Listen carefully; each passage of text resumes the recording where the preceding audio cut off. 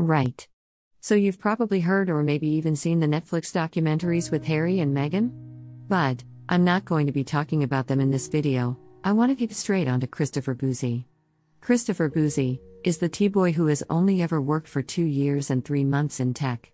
The rest of his working life, he's had his own failed businesses, not to mention being caught up in three Bitcoin scams. Now, in the Netflix documentaries, he claims to be a tech entrepreneur defending Meghan Markle, although some would call her Princess Pinocchio.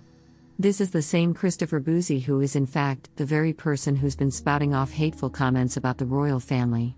He may think we've all forgotten about what he said, but we haven't. So, let's find out. And, if you want to keep up to date with all the Bouzy stuff that I will be uploading, please don't forget to press that subscribe button. So, amongst Bouzy's many hateful tweets, he is called the Prince of Wales, a balding muppet. Bouzy. Let me tell you something. You are most certainly not an oil painting yourself. Just look at you. Appearing in the Netflix trailer, he claims to have set up Bot Sentinel to combat disinformation and harassment. But, let's think about this disinformation and harassment for a moment. Bouzy only focuses on people who are paying him. For example, both Markle and Amber Heard have paid him to seek out negative content. But, he doesn't care if he is in fact hateful towards anyone, and he doesn't care if anyone is hateful to anyone else, if they're not paying him. He claims that his company has researched the trolling and harassment of Meghan, highlighting racism and other derogatory comments made about her. But what is rather interesting is that Bouzy, himself has been racist. He's been racist towards Nate. Nate is the lawyer that has brought on one of the defamation lawsuits against Bouzy. And, here's the thing Nate is the same color as Bouzy. But Bouzy doesn't seem to care about that at all. He also doesn't seem to care that he's launched personal attacks on many members of the royal family by making hateful comments about their appearance. Again, look at Bouzy, a 47 year old that is no oil painting. If anyone commented on his appearance, he'd tweet immediately to his followers that he's being harassed. Bouzy is very much an attention seeker. Okay, so in March 2021, he tweeted about Prince William being a balding Muppet. This prompted his deluded followers to reply with insulting remarks about the prince. That's exactly what he does when he needs attention.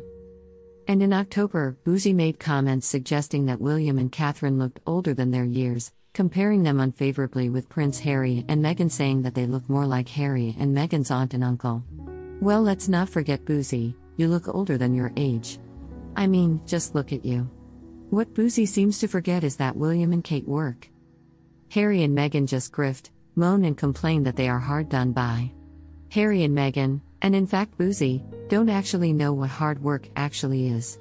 Perhaps that's why Bouzy and Bot Sentinel have been at the top of the Grifties Awards? And, Bouzy is the biggest grifter of them all. Now, even though his comments have been purely toxic, he seems to believe that it's absolutely fine. Bouzy claims that this is okay because it doesn't affect his research in the hate campaign against Meghan Markle. Seriously, I think that it does. After all, he puts his own biases and prejudices into Bot Sentinel, and this is no different. After all, he even tried to call the Pope out until lots of people complained. The funny thing is, once the people complained, Bouzy blocked them all, then suddenly, faster than lightning, the Pope's score quickly changed. Highly suspicious, don't you think?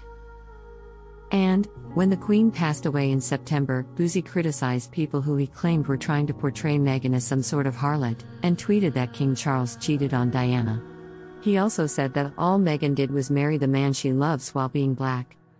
What Bouzy and Princess Pinocchio fail to remember is that her father, Thomas Markle, is Caucasian. So, let's be honest and say that she isn't black. She's mixed race. She can identify herself as being black, but it doesn't mean she is. I could actually identify myself as being a unicorn, but it doesn't mean that I am one. Now, from his kitchen in his rented condo in North Bergen, Bouzy produced three reports about Meghan. He said that the investigation came after he shared a positive tweet about Harry and Meghan, yet he received hateful messages from supposed anti Meghan accounts. His completely biased search revealed 83 accounts were responsible for 70% of the abuse on Twitter. However, what he failed to acknowledge in these reports is that he is the one that contributes to a lot of hateful comments. And, aside from the hateful comments towards the royal family, Bouzy has also targeted, harassed, and doxed other people too.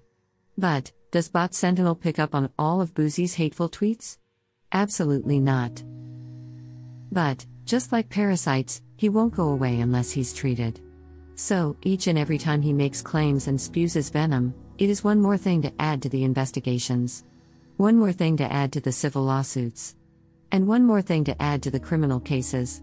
He may think he's gotten away with it, but it looks like the soil in the hole he's dug for himself is slowly starting to cave in. I will be uploading several videos over the next coming weeks, and we may see the hole starting to fill up on Bouzy. So, please let me know your thoughts in the comments box below, and until next time, have a great day and thank you for being here.